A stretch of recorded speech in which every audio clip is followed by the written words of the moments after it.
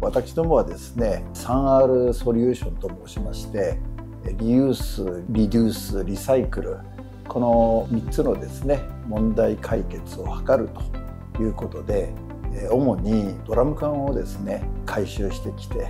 それをもう一度洗ってですねリユースをしてそれでまた社会にですね製品として使っていただくと。こんなようなあの事業をやっておりまして容器全般に関してですね取り扱いをしている会社でございます。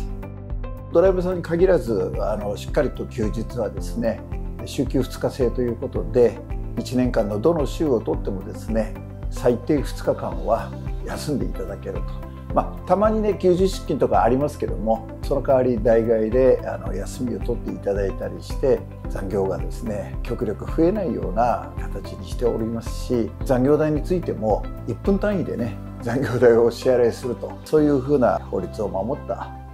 取り組みをあのしております。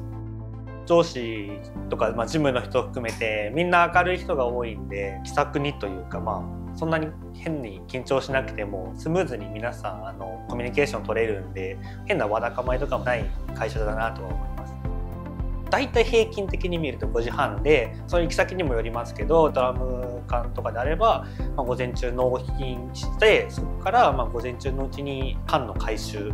に行ってで帰ってきて卸場に卸して翌日分を積み込むっていう形になって一般貨物だと納品と積み込みが交互にあったりもするんですけど早いと多分3時半とか4時には帰ってこれるんですけど遅いとまあ6時7時になっちゃうこともあるかなとは思います。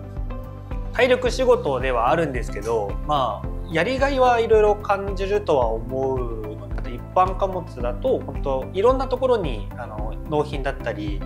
えー、と引き取りとかに行けるので、まあ、運転が好きな方であれば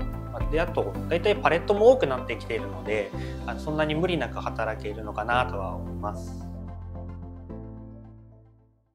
ドライバー求人サイトのドライバー